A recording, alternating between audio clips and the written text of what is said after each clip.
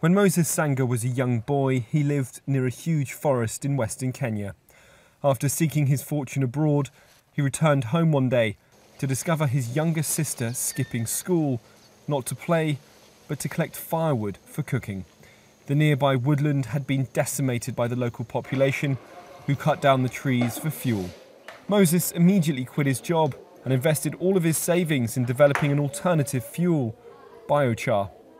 Now biochar is simply converting biomass into a powder called char that could work as an organic fertilizer, but it can also be compressed into fuel, and the fuel burns as good as charcoal from wood. One third of Uganda's tree cover has disappeared in the last two decades. Environmentalists warn that unless things change quickly, much of the forest will disappear within 40 years. People invade the forest, they clear them, they cut them down, uproot them, they devastate the entire biological diversity with impunity. Since starting up EcoFuel Africa in 2009, Moses has seen the project take off. One and a half thousand farmers have invested in a kiln. They cost around $60. They are able to quickly recoup their investment by selling the fuel it produces.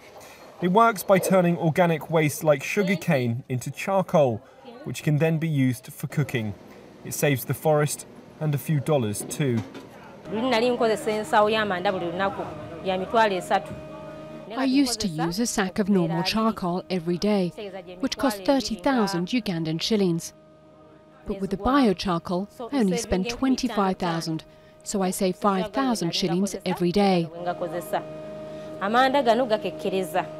Three and a half thousand families are buying biochar on a regular basis, a small but important step in stopping deforestation. Moses now hopes to get 40 million people using it and even wants to replenish the forests by planting quarter of a billion trees by 2020.